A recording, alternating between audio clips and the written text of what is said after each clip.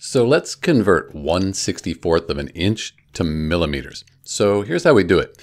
If you're talking about drill bits, you could just download a chart with all of these conversions between inches and millimeters. There's a link in the description. But if you wanted to calculate it, it's not too bad because one inch is 25.4 millimeters. So 1 64th of an inch, that's pretty small. That's a lot less than an inch, so it'd be quite a bit less than this number here.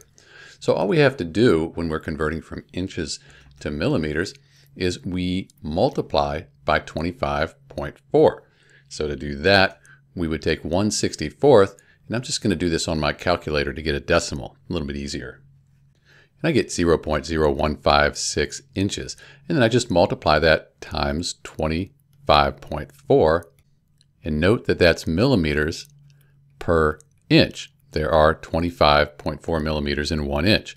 So now when I do the multiplication, that's nice inches cancel out. So my final answer will be in millimeters. So on my calculator, I'll do this.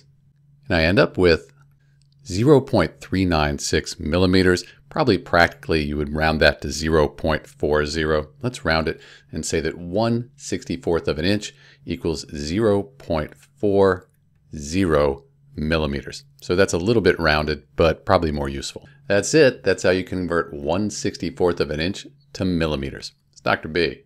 Thanks for watching.